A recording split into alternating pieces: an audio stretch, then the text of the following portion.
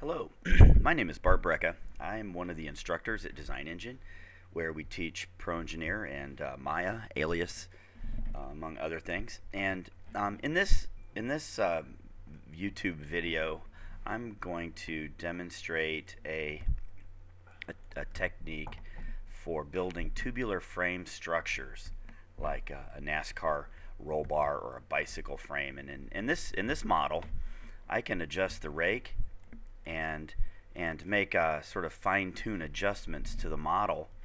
You see how that uh, geometry just moved there. And when I when I go to my assembly and hit regenerate, because of the way I built the model, the geometry is just going to flex.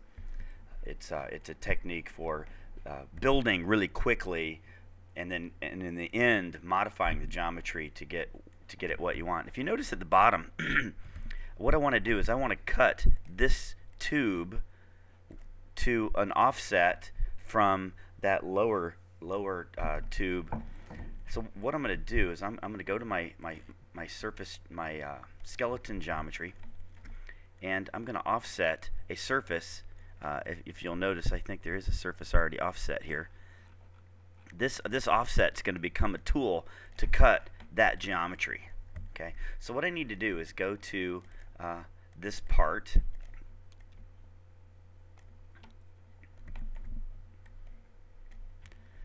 I'm going to call up this part and I'm going to copy an ECG, an external copy geometry from the skeleton model.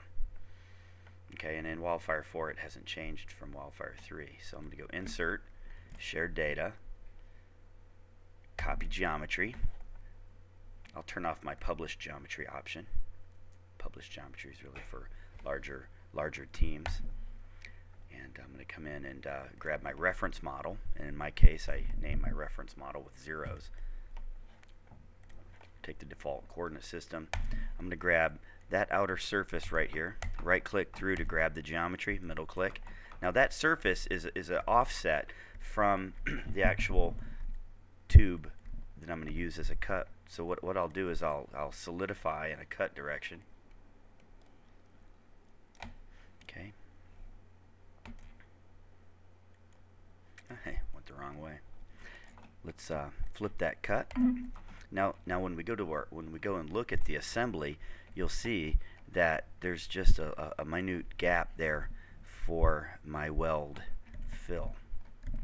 Okay, and and if you really want to uh, appreciate this this skeleton frame structure, I can get in here and sort of modify the underlying geometry and actually change my mind later on as I as I as the geometry becomes more complex.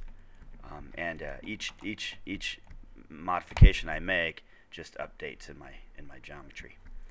Okay, and uh, that's that's it for my uh, my my demonstration. And uh, please please visit the uh, Design Engine website, uh, proetools.com. Thank you again. My name is Bart Brejcha.